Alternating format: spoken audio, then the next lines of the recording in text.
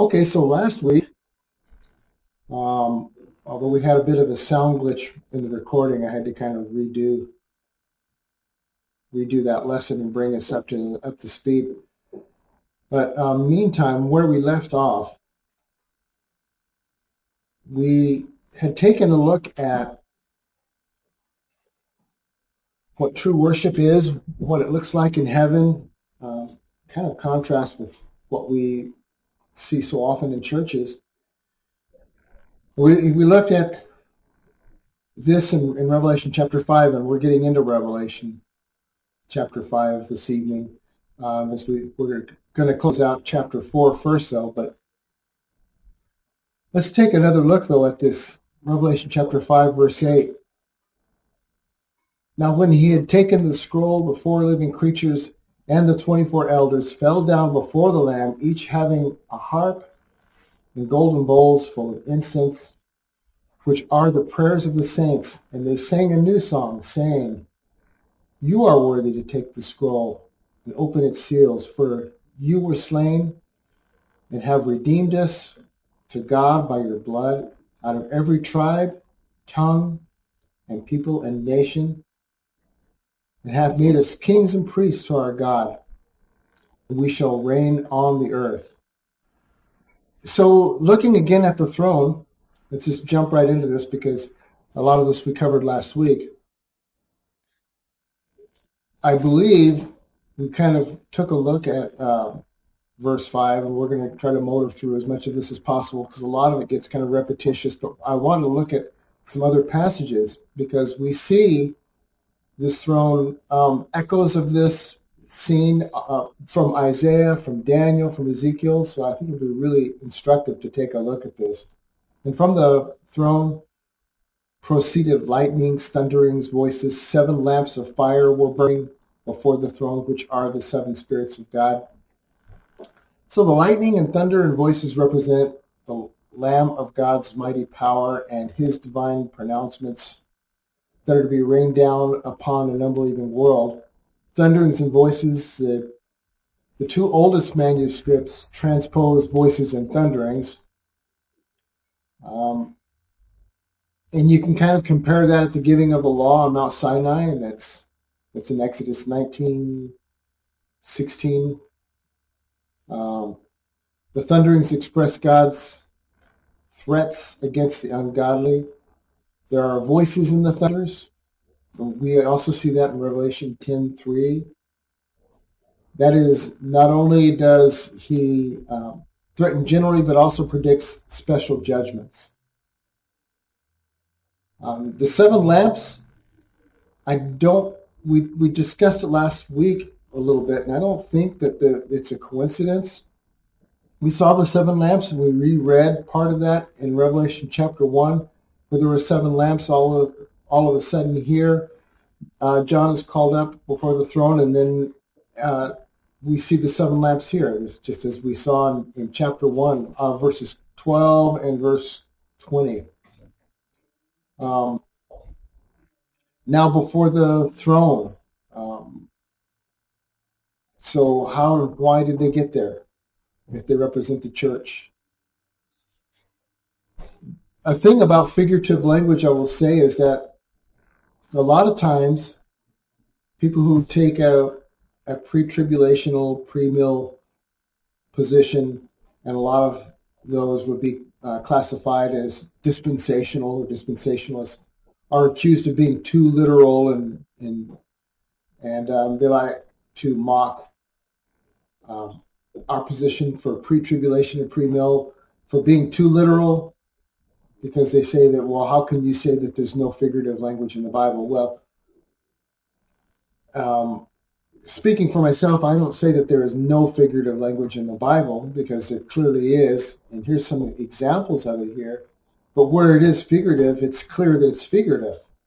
You know, you don't need to look at something that you can't explain or that goes against your doctrine or theology and say, well, that kind of goes against what my teaching is, therefore it must be figurative you know, when you go into Revelation chapter 20, and it talks about the thousand years, a thousand years, a thousand years, and it says it six times, it probably means a thousand years, but it goes against your theology, and you say, well, I'm amillennial, and I believe the kingdom is right now, so that must be figurative language in chapter 20 because it goes against my theology, is not an honest way to approach the text. We'll take a look at uh, one particular um, passage about the kingdom in a little bit here in Isaiah that I think will demonstrate clearly that we're, the kingdom is not on earth now, and it can be, but we'll take a look at that. There's a number of reasons, but it's very clear in this particular text. But um, so the seven lamps, you know, the churches in chapters uh, one and, and, two, the churches, um, all of a sudden we have seven lamps before the throne. Um, and then we've got the elders and so forth that, that clearly represent the church because the song that we sing and they're dressed in robes and they've got the crowns. So by implication, the timeline is clearly that it's got to be church and it's got to be church in heaven because it's right before the rest of the chapters. Because in the very next chapter, we're getting ready to get into chapter six, after the throne is we go into Daniel's 70th week, the tribulation week, and we're not supposed to be on the earth for that. So by implication here, the rapture has happened by this point, right? So now the seven spirits of God. What do you think of that phrase? What does that mean? Thoughts, guesses, insights? Well, the Holy Spirit, something to do with the Holy Spirit. But why seven? Perfect. Seven is perfect. Seven is a perfect completion. There is a a, uh, a passage in Isaiah, and we're about to go there. But it does reveal in that passage seven aspects of the Holy Spirit. So the seven spirits of God, um, we might look at as perfect completion, different aspects of the Holy Spirit. That's possible. Anything else? Any other possibilities? I mean, that is correct. That is the you know the way that most theologians will will read that. Um, look real quick at chapter twenty-one. If you want, if you want to turn there, for instance, chapter twenty-one. Let's see, verse twenty-three.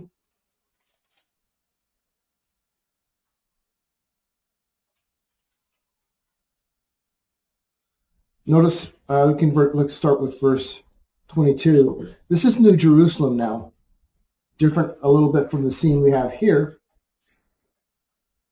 But I saw no temple in it, speaking of New Jerusalem. For the Lord God Almighty and the Lamb are its temple. The city had no need of the sun or the moon to shine in it, for the glory of God illuminated it. The Lamb is its light. And the nations of all those who are saved shall walk in its light, and the kings of the earth shall bring their glory and honor into it. Does that sound anything at all like some of the lightning, thunderings, the lamps of fire, the throne room, how it's a little bit different? There's that other passages too. You might write down Psalm 119, 105. There's also the fiery purifier of the ungodly. We have um, mentioned in Matthew 3 11. So those are all key passages that tell us about throne room experiences. But we're going to go into the big ones because um, one is the description of the throne room and what it looks like, and also these um, living creatures that we see around the throne. It's it's very interesting. So in Revelation 4 6, this is an odd description here. Before the throne, there was a sea of glass like crystal, and in the midst of the throne and around the throne were four living creatures, full of eyes in front and in back. The first living creature was like a lion the second living creature was like a calf, and the third living creature had a face like a man, and the fourth living creature was like a flying eagle. Kind of strange, isn't it? Especially the eyes all around kind of thing. What do you think that might mean?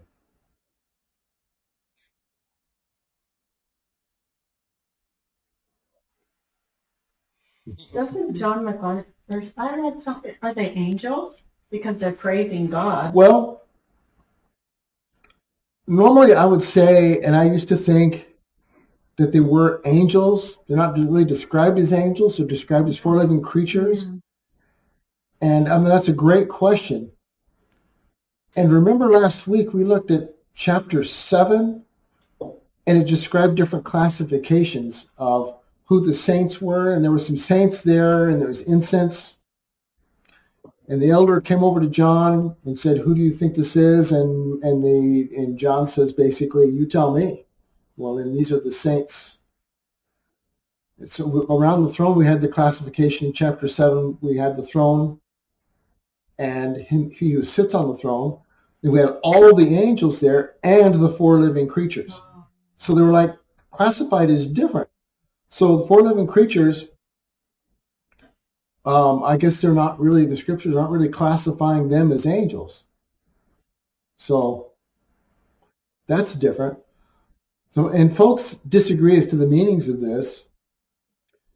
Um, virtually anytime for something's named in the Bible, um, we tend to take numbers a lot of times and impose the meanings that we found in numbers and impose them on the text when the text doesn't necessarily say it. So we want to be careful about that.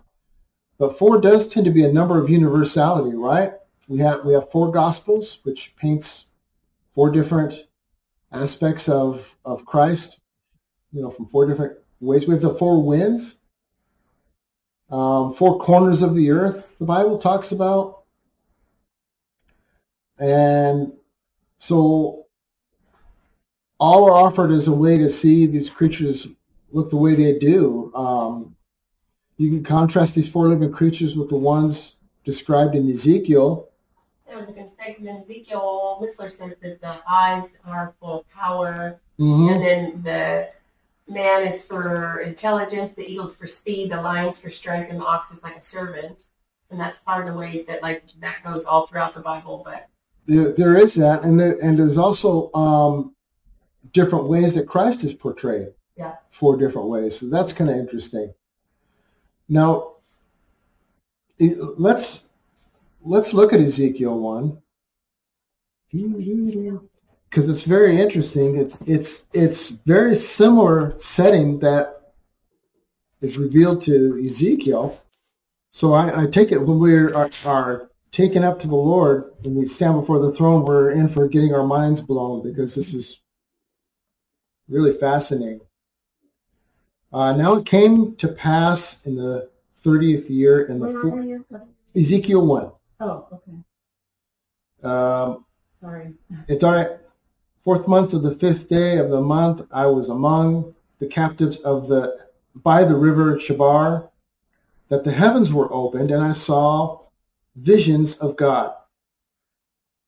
On the fifth day of the month, which was in the fifth year of King Jehoiakim's captivity, the word of the Lord came expressly to Ezekiel, the priest, the son of Buzai, in the land of the Chaldeans by the river Chebar, and the hand of the Lord was upon him there. I hope I pronounced those names right, but I'm sure whoever's name I mispronounced, they'll have to forgive me. Then I looked, and behold, a whirlwind was coming out of the north, a great cloud with raging fire engulfed, it's engulfing itself, and brightness was all around it, and radiating out of the midst of the color of the amber, out of the midst of the fire. Also from within it came the likeness of four living creatures. And this was their appearance. They had the likeness of a man. Each one had four faces. Now pause right there. What did it say in Revelation 4? They each had, there are four different living creatures, but they each had their own face, right? So these are four living creatures, but these are different. Maybe Ezekiel say there's a different shift. I don't know. This is the night shift. I don't know what was what was going on there. Each one had four faces, and each one had four wings. Their legs were straight, and the soles of their feet were like the soles of calves' feet. They sparkled like the color of burnished bronze. The hands of a man were under their wings on their four sides, and each of the four had faces and wings. Their wings touched one another. The creatures did not turn when they went, but each one went straight forward. As for the likeness of their faces, each had the face of a man. Each of the four had the face of a lion on the right side. Each of the four had the face of an ox on the left side, and each of the four had the face of an eagle. Thus were their faces, their wings stretched upward. Two wings of each one touched one another, and two covered their bodies. Each one went straight forward. They went wherever the Spirit wanted to go, and they did not turn when they went. As for the likeness of the living creatures, their appearance was like burning coals of fire. So I guess that was glowing, right? Burnished, shining, glowing. Like the appearance of torches going back and forth among the living creatures. The fire was bright, and out of the fire went lightning. And the living creatures ran back and forth in appearance like a flash of lightning. So similar in that in that the description of um, you know what types of faces there are represented, but these are definitely different creatures, aren't they? Well, they the creatures represent God's judgment of some kind because they're getting ready to Israel's getting ready to you know, Jerusalem, Judah is getting ready to come under judgment in this.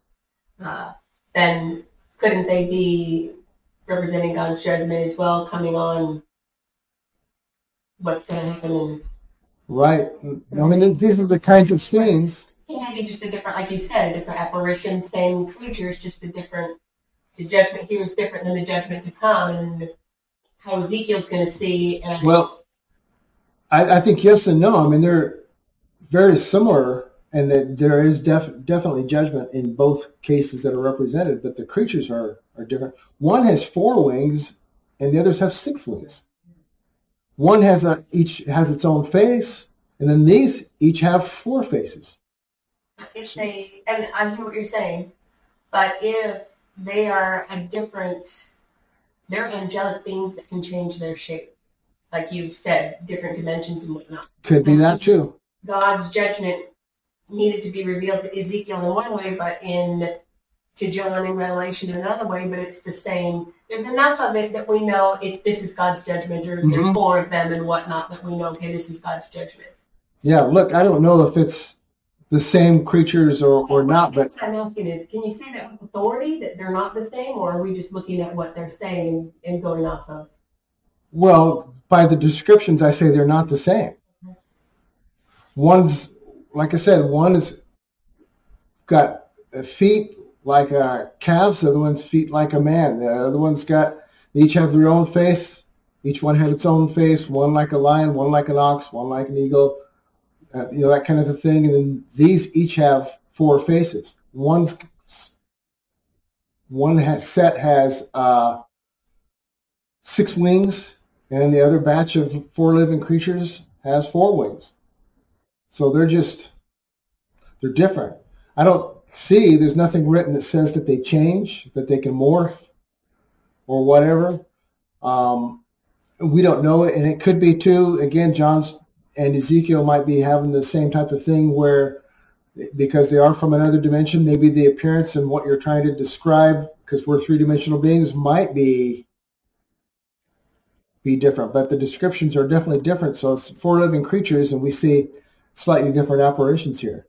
So, so the eyes would represent they don't miss much. They're not omniscient because we know only God is omniscient, right? So they watch. They are watchers somehow, and they they don't miss they don't miss much at all. They see everything.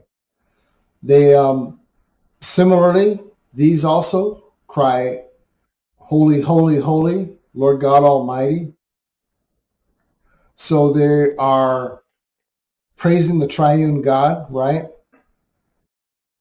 Um, the triune God is, is recognized, honored, and praised.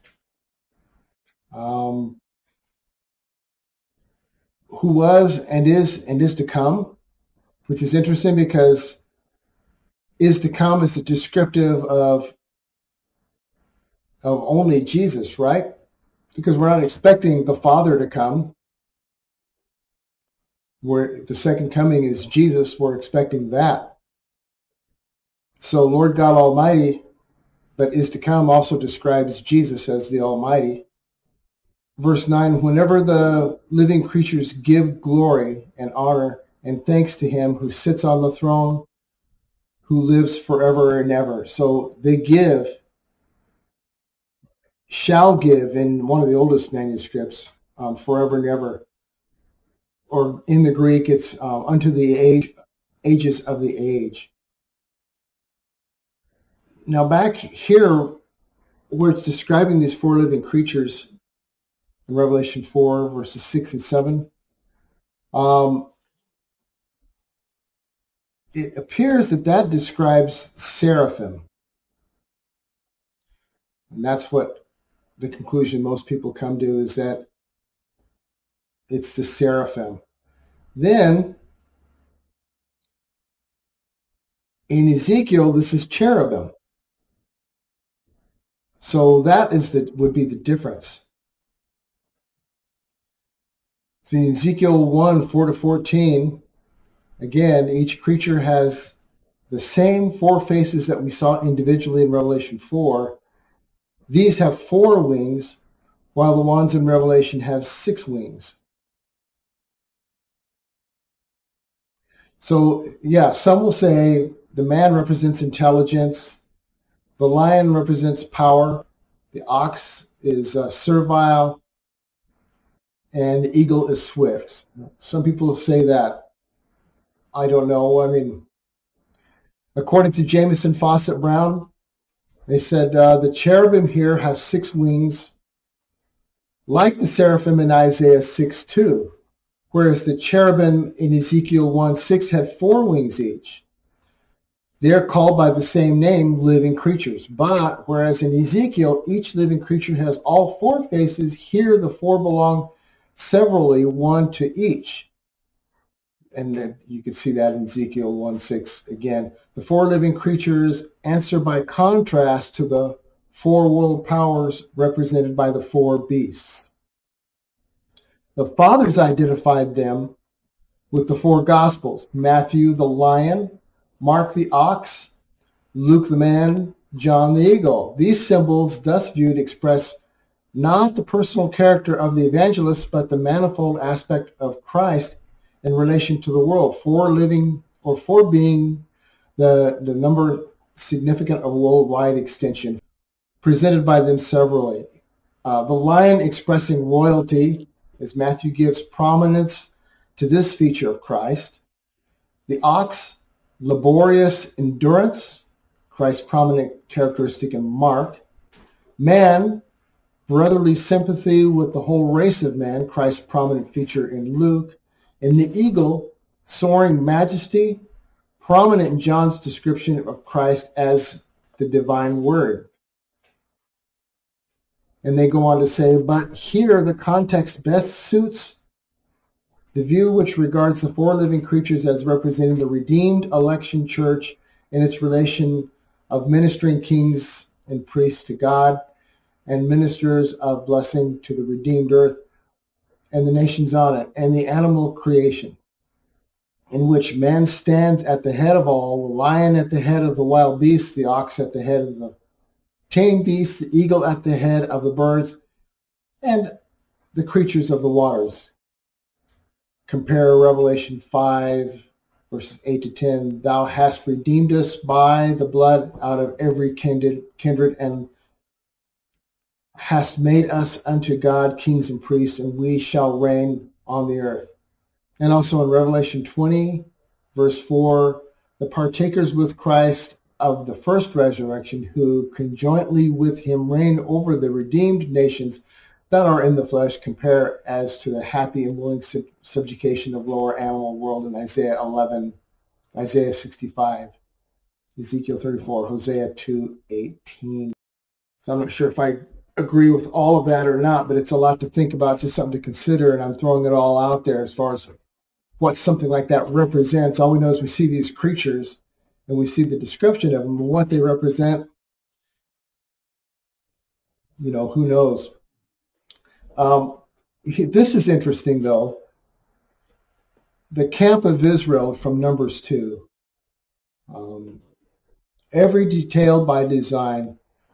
What might be hidden behind the details of the camp of Israel? Notice in the camp there are four standards. The, the, the tradition says four standards under which Israel encamped in the wilderness. You know, when they set up their tents, so you had the meeting tent and you had the four camps of Israel set up, okay, in the wilderness. You had to the east was Judah, to the north Dan, to the west Ephraim, and to the south Reuben. And and uh, that's where respectively a lion, an eagle, an ox, and a man in the midst of the tabernacle containing the Shekinah symbol of divine presence. Thus we have the picture of that blessed period when the earth, having been fitted for being in uh, the kingdom of the Father, the court of heaven will be transferred to the earth, and the tabernacle of God shall be with men. Revelation 21 3. And the whole world will be subject to a never ending theocracy and that's according to De DeBerg in exposition of in his exposition of uh, Revelation. So the point the point of union between the, the two views given above is Christ is the perfect realization of, of all the ideals of man. Christ is presented in his fourfold aspect in the Gospels, respectively. The redeemed election church, similarly, when in and through Christ, with whom shall uh, she shall reign, she realizes the ideal of man shall combine in herself human perfections having a fourfold aspect. So when you look at this camp,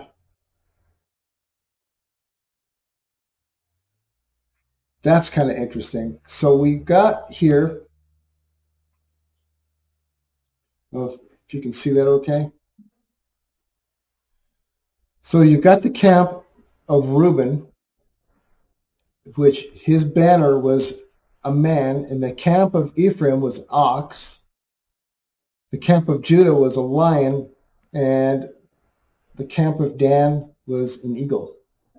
Interesting, isn't it? See how the camps are laid out. When you go, those numbers on there represent the tribes that were staged under those main banners and their populations and how the, how big their camps would be. But when it's done, by the time you're done there with the size of the these camps, you have roughly the shape of a cross. Of course, that can all be a, a coincidence, right? Probably not. But it's interesting, it's the same creatures. So God repeats this. This is an ongoing theme that God's got going on there. Significant, I think.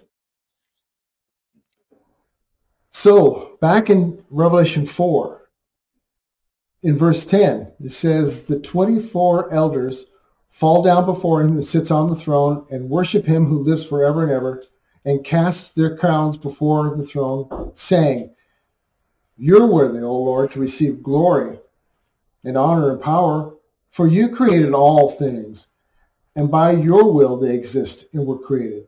So here we are, We've got the 24 elders recognizing that Christ is the one that's worthy. And worthy, worthy is uh, comes from a root, root word that does mean worth. So he is the one who has the worth for receiving all the glory, honor, and praise because he's the one who created all things again, the crowns we, as we talked about last week, were crowns of victory. Okay, they're not royalty crowns. Immediately, in the Greek, it says they shall fall down, implying that this ascription of praise shall be repeated onward into eternity. So that is kind of their aspect. They shall fall down. So we we fall down and praise God. Um, it's kind of a regular thing we do with, with worship, although for some reason not really so much in churches these days.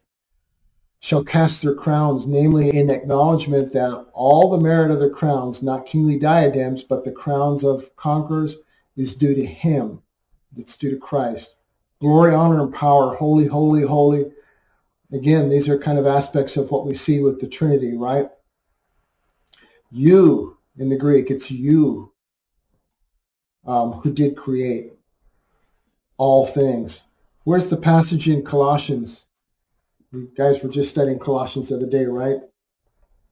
For by him all things were created that are in heaven and that are on earth, visible and invisible, whether thrones or dominions or principalities or powers, all things were created through him and for him. Awesome. There's a there's another great one. I want you to take a look at. Uh, turn real quick to Hebrews one. It's very similar. It echoes that. About uh, well, we can start with verse one. Why not?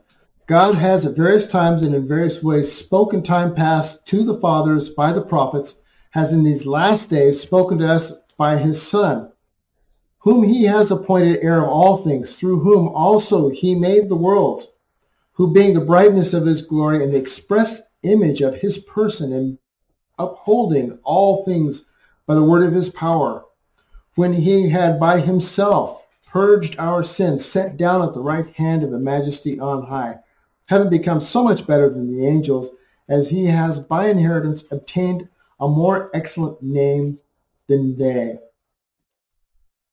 So it's very similar, right? So all these aspects of Christ and worship and honor and recognition of him is what happens in throwing the crowns down and worshiping and what the angels sing. So again, Colossians 1.16, worthy is the Lamb. You also, you know, you can also look at, uh, you know, it's Hebrews 1, but also look at, at John 1, John 1, 3. All things were made through him, and without him nothing was made that was made. In him was life, and life was the light of men, and the light shines in the darkness, and the darkness did not comprehend it.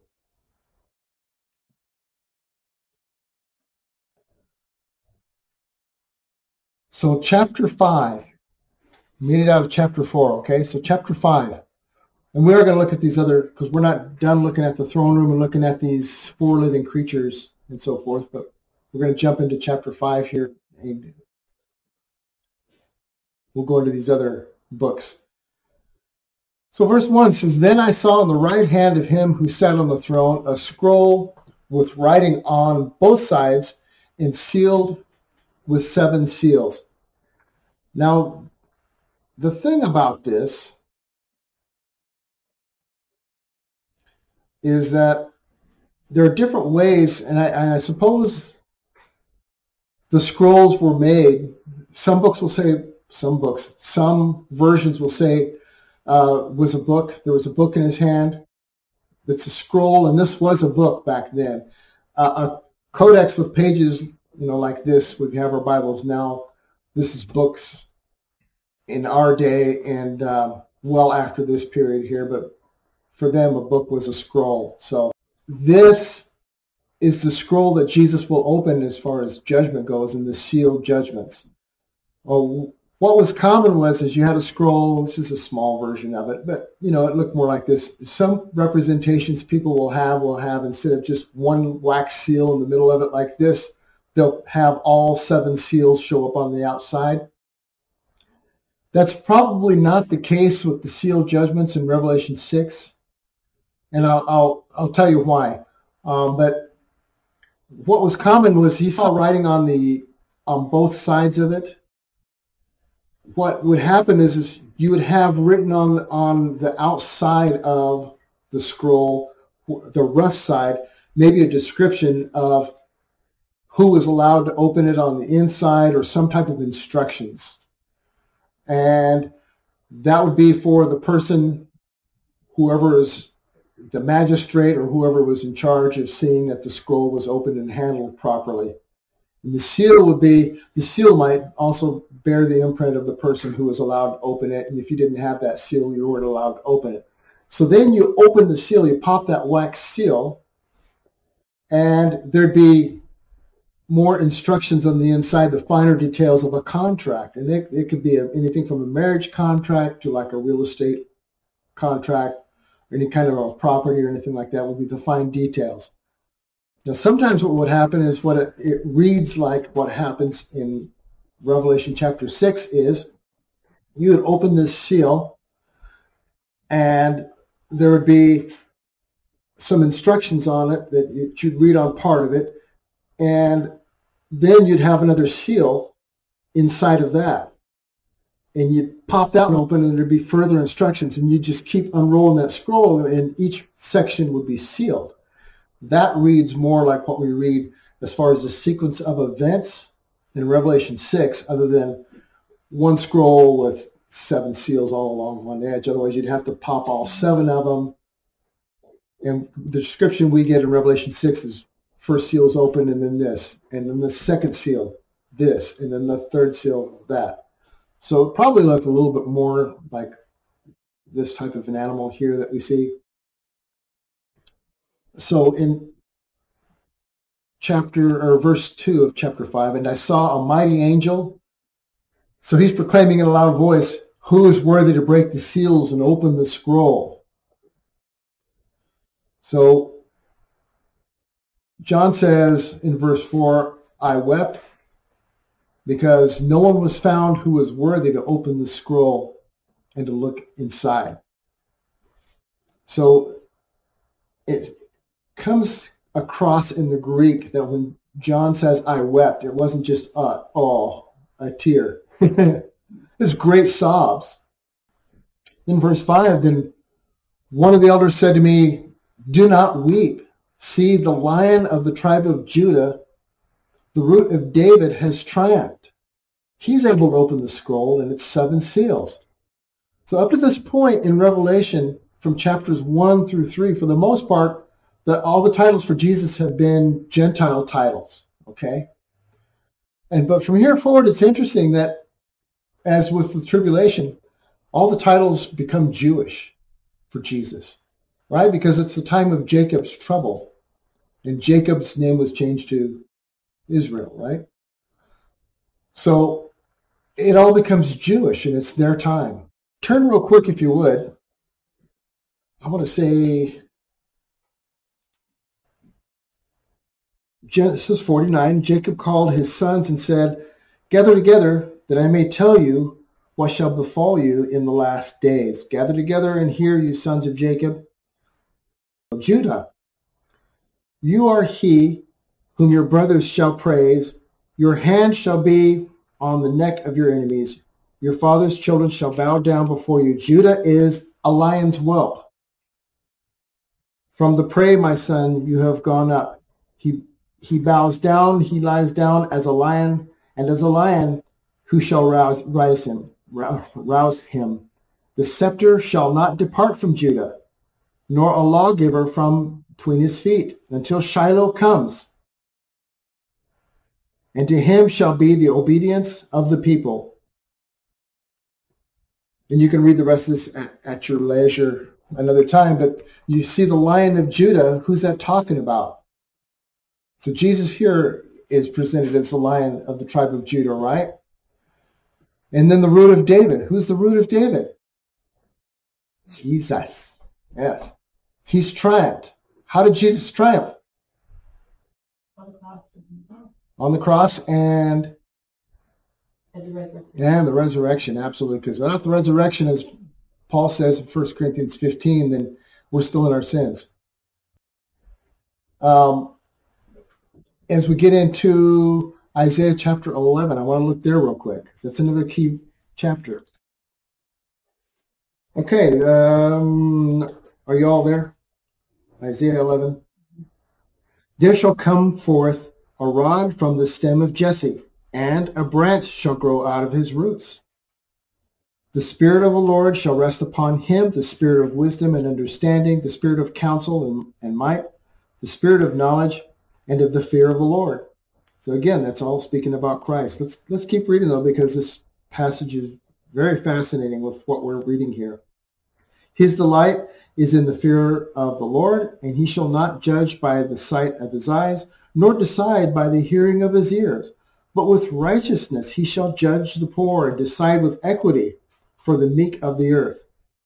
He shall strike the earth with the rod of his mouth, and with the breath of his lips he shall slay the wicked. What period of time is this talking about here? Class. Okay, let's keep reading. Righteousness shall be the belt of his loins, and faithfulness the belt of his waist. The wolf also shall dwell with the lamb. Ah, the millennial kingdom. Yes. Okay. Now, for amillennialists who think that we live in the kingdom right now, the wolf shall lie down, shall dwell with the lamb. Do we see that now? Yeah, it's kind of. Yeah, that's symbolism. That's yeah. The leopard shall lie down with the young goat, the calf and the young lion and the fatling together, and a little child shall lead them. The cow and the bear shall graze; their young ones shall lie down together, and the lion shall eat straw like the ox. The nursing child shall play with the cobra's shall play by the cobra's hole, and the weaned child shall put his hand in the viper's den. They shall not hurt nor destroy in all my holy mountain, for the earth shall be full of the knowledge of the Lord, and the waters shall cover the sea. That is not describe the world we're in right now at all, does it? Okay, and then verse 10, and in that day there shall be a root of Jesse, who shall stand as the banner of the people, for the Gentiles shall seek him, and his resting place shall be glorious. Isn't that fascinating? Yeah, okay, verse 12 in the same chapter. He, he will set up a banner for the nation that will uh, assemble the outcasts of Israel and gather together the dispersed of Judah from the four corners of the earth. And also uh, the envy of Ephraim shall depart, and the adversaries of Judah will be cut off. Ephraim shall not envy Judah, and Judah shall not harass Ephraim. So there'll be peace and and all that, and, and the Lord's going to gather everybody back together again. So this is the Lord kicking off the kingdom. Verse 11, note that the Lord shall set his hand again the second time to recover the remnant. Did you see that in, verse 11? It shall come to pass in that day that the Lord shall set his hand again the second time to recover the remnant of his people who are left. What was the first time? Egypt, right? He gathered them together out of Egypt, except this time, the second time, he's gathering people out from Assyria and Egypt, from Pathros and Cush, from Elam and Shinar, and from Hamath and the islands of the sea. So he's gathering them all together a second time. So he will, verse 12, he'll set up a banner for the nations and will assemble out all the outcasts of Israel. So what I, I want to point out is that just as the Lord gathered them together out of Egypt, in Egypt, was that figurative? Was that symbolic? Or did he actually pull them out of Egypt physically and actually? So if the Lord pulled Israel out and gathered them together out of Egypt actually and physically the first time, why would it be figurative the second time and symbolic? Just a thought. Just want to point that out because that's something to consider. Folks will tell us that it's all symbolic. And then chapter 5, verse 6, then I saw a lamb looking as if it had been slain, standing in the center of the throne, encircled by the four living creatures and the elders. Here we go again. He had seven horns and seven eyes, which are the seven spirits of God sent out into all the earth. Now here we do have a lot of symbolism, but it's clear it's symbolism, right?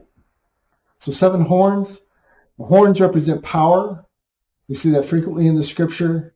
We see that in Revelation, right? Concerning the beast coming and, and the horns represent different kings over different kingdoms. So the lamb is, is demonstrated to have power. Um, also, um, honor, uh, the seven eyes, the seven spirits of God, um, and the sevenfold spirit of God.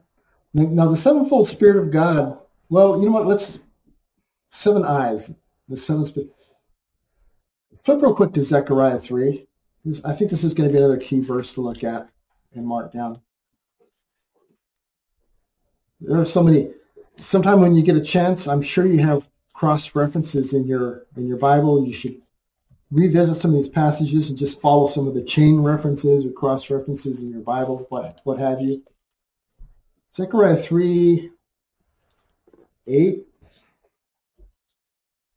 Um, Hero Joshua the high priest, that one? Yeah, hero Joshua, the high priest, you and your companions who sit before you, for they are a wondrous sign. For behold, I am bringing forth my servant, the branch. For behold, the stone that I have laid before Joshua, upon the stone are seven eyes. Behold, I will engrave its inscription, says the Lord of hosts, and I will remove the iniquity of that land in that day. In that day, says the Lord of hosts, everyone will invite his neighbor under his vine and under his fig tree. There's that fig tree again. That's why I wanted to look there because fig tree's in there again, and it's talking about that day. Remember from our whiteboard here, that day talks about a pretty broad spectrum here of the end times. But that day, we come all the way up to second coming and then the establishment of the kingdom, right? So it's talking about in that day. And that's the ultimate goal, penultimate of everything is leading to that day when he's on his throne. Now, we were in Isaiah 11. Um, in verse 2, we have seven descriptor, descriptors of, of, um, of the Spirit found there in that passage, which is fascinating. So we talk about the seven spirits or the sevenfold spirit. You, you might, in, for instance, Revelation 5, 6, put down a note, a margin note for Isaiah 11, 2, because it talks about um, the Spirit of the Lord, um, Lord of wisdom and understanding, of counsel, might, knowledge, the fear of the Lord. So the sevenfold description describes the work of the Spirit in the realm of wisdom and knowledge. Uh, the, the primary emphasis on all these has to do with cognitives. So there are many attributes of God, right? But all these descriptors here are all cognitive, wisdom and understanding, counsel, might, knowledge, fear of the Lord, all that kind of stuff, which is interesting. Um, significantly, this stands behind much of what Jesus says also in John's gospel. In, in um, if you go in and read about the promise of the Holy Spirit that's going to be coming, John 14, 15, and 16 is a big, long discussion about what Jesus is going to be doing with the Holy Spirit. And um, so it's reminiscent of that. So that's a corollary too. You know, obviously, we're not going to take the time to read John 14, 15, and 16 right here tonight. But in chapter 5, verse 8, he says, And when he had taken it, the four living creatures and the 24 elders fell down before the Lamb. Each one had a harp they were holding, um, golden bowls full of incense, which are the prayers of the saints. Now, a quick question I would ask you to consider and answer for me if you can. Um, the prayers, they were the prayers of the saints. Any thoughts about what saints these are the prayers of, of what's going on here. The prayers of the saints. Now, it could be any of them and all of them, right? I mean, the 24 elders are there. They each have a harp. They fall down before the Lord but they're carrying the bowls of incense. So are they the saints that are on the earth at the time? Well, we go along with the temple worship, we know, because the incense goes into the Holy of Holies. It's sweet savor unto the Lord. So if we're going back into the time of Jacob and whatnot, then that would be relevant. Yeah. Okay, so so we're raptured. And like John, we're before the throne of God. Uh, we're falling before the Lord. We throw our crowns before Him. What's going on on the earth at that time? You know, we've all been raptured up, taken out. Do you think a lot of people are going to repent at that time? A lot of people will be saved. So there's saints. I hope so. Yeah, I think so. Well, the Bible does say that the number that no one. A number that no one can count, right? So what are they going to be praying? What are their prayers going to be like at that time? Oh no, I missed the boat. What about those uh, the the ten virgins, the five foolish virgins who found that they didn't have oil for their lamps, and they repent, or at least a bunch of them repent. They're going to be praying, right? To be a lot of time praying because they know it's coming. Let's continue. Verse 9. Okay, and they so they sing a new song. And we looked at this before. You are worthy to take the scroll and to open its seals. See it's more than one seal there. And with your blood you purchased us to god by your blood from every tribe and language and people and nation. You have made us to god kings and priests and we will reign on the earth so we say we will reign on the earth. So we're talking about it, you know, in the kingdom. So here we can see it's the song of the redeemed, right? So this is, it's got to be church. It's got to be the bride of Christ. Verse 11, then I looked and heard the voice of many angels, numbering thousands upon thousands and ten times 10,000. They encircled the throne and the living creatures and the elders. So here is John as best he can, clumsily saying, I don't know how many there were. You know, um, some translations will say myriad, myriads upon myriads and all that. And so millions, in other words, many millions of countless number of angels encircling the throne and the living creatures and elders. And here it doesn't say how many of the living creatures, but says and the living creatures. So there's several angels. And here again, point out that the living creatures aren't numbered with the angels. They're a separate class. So you've got angels, and you've got the, the elders, and you've got the living creatures. Angel is a general term, though, for messenger. And the living creatures, it looks like their primary purpose, their main purpose is to sing praises to the Lord all the time. And angels are messengers. They do the Lord's bidding and run to and fro and, and do as he bids. There, so then verse 12, in a loud voice they said, Worthy is the Lamb who was slain, receive power and wealth, wisdom and strength, honor, glory, and praise.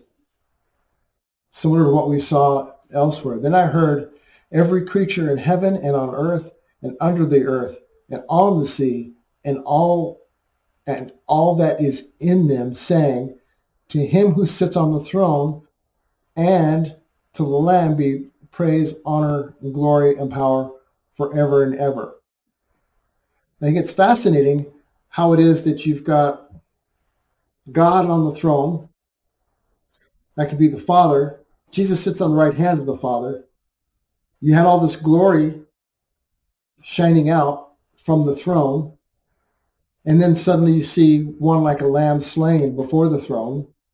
So John is seeing a, a vision here, and then all this, all this praise happens in recognition of, of God and the Lamb that was slain.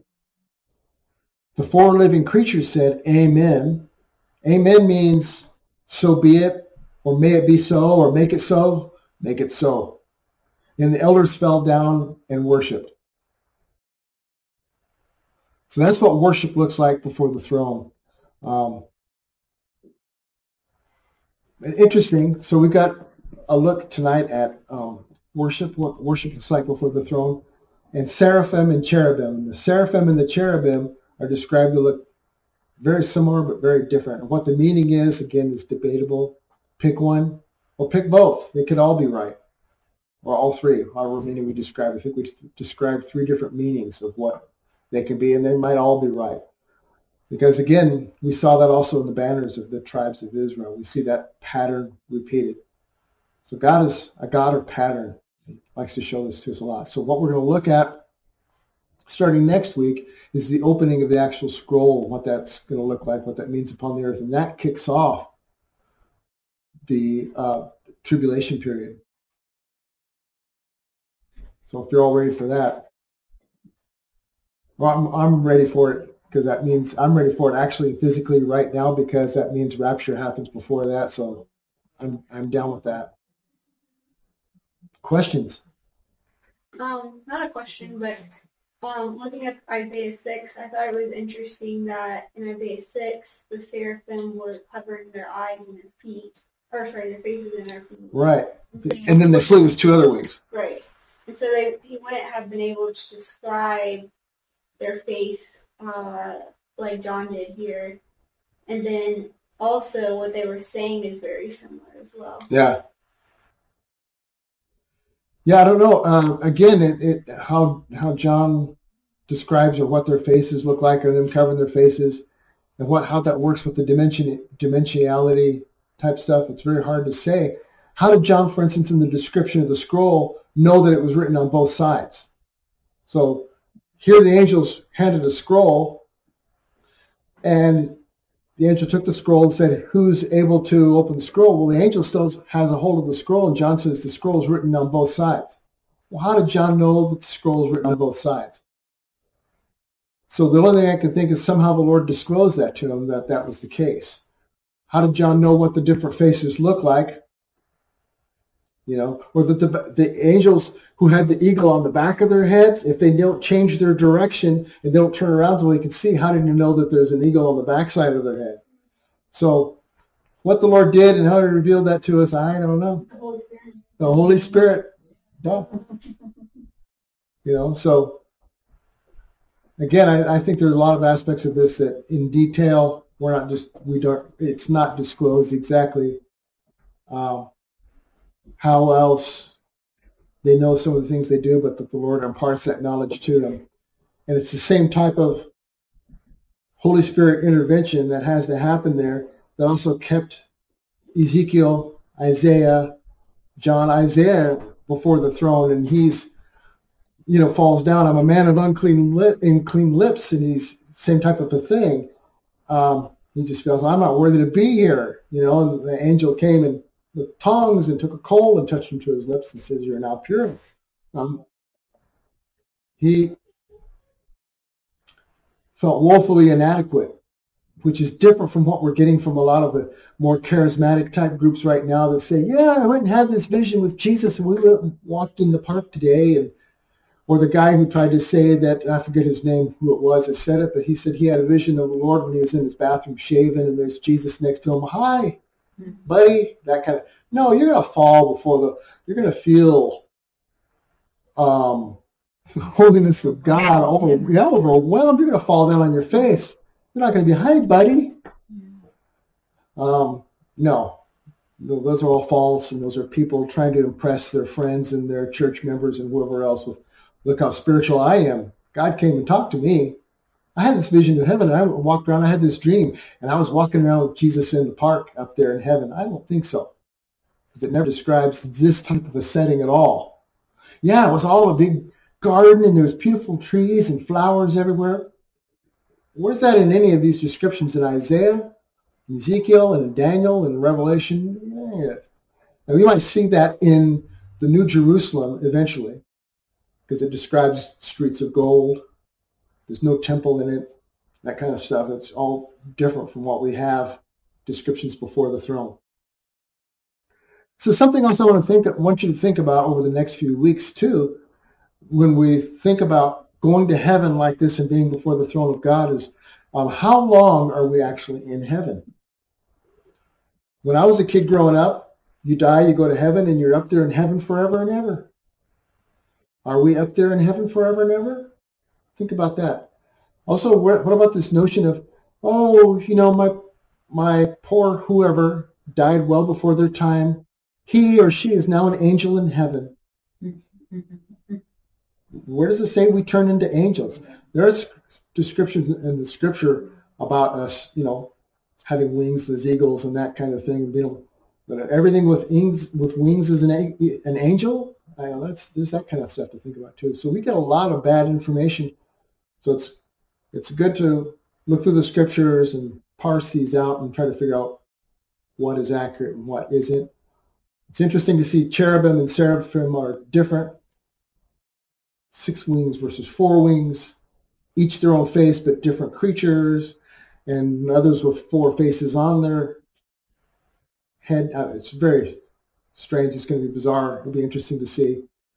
Um, eyes all around. What's all, you know, that's going to be, I don't know what that's going to look like. Eyes in the front and the back and on the inside and wing, eyes on the insides of their wings and all this kind of stuff we see like in Isaiah. Interesting, fascinating. I don't know what these guys were seeing, but I guess we'll find out eventually, right? Any more comments or questions? It's a good comment, by the way, about the wings and how this is just going to be a Holy Spirit disclosure kind of a thing. So,